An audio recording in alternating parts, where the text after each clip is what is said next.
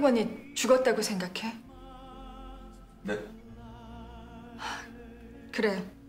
물론 죽었지. 그럼 홍일권이 죽었다고 생각해? 아니면 죽임을 당했다고 생각해? 그 집안 돌아가는 꼴 봐선 병사인 건 아닐 것 같아요. 혹시 홍일건 죽음에 대해서 뭔가 아시는 거예요?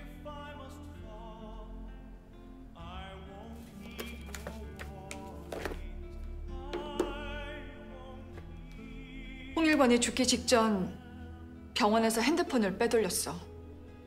그 안에 장변한테 남긴 동영상이 있어. 소조 씨 수사관이잖아. 이 동영상이 범인이 누군지 밝힐 완벽한 증거가 될지는 모르겠지만 두 사람이 힘을 합치면 반드시 범인을 잡는 데 도움이 될 거야. 그런데 이걸 왜 지금에서 해주시는 거예요? 홍일권을 죽인 범인을 잡기보단 관련자들을 응징해주고 싶었어. 그걸로 홍미애와 홍신혜한테 겁을 좀 줬어.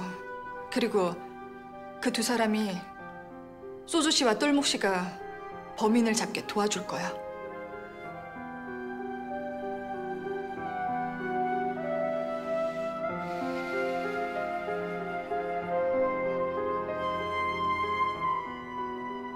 죽음을 앞둔 마당에 더 이상 숨길 것도 더 거짓으로 포장할 것도 뭐 있겠나.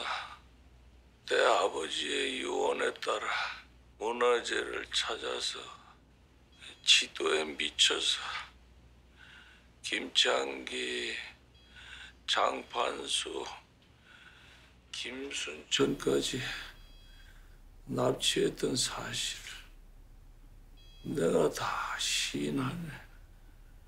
내가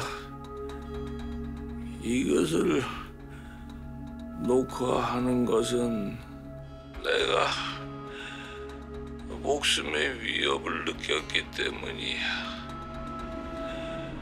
구치소에서도 이 병원에서도 나를 죽이려고 했던 그놈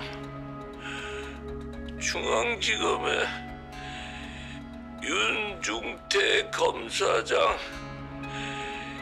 그놈이 날 죽이려 한 것을 증명하기 위해서 지금 내가 이걸 녹화하고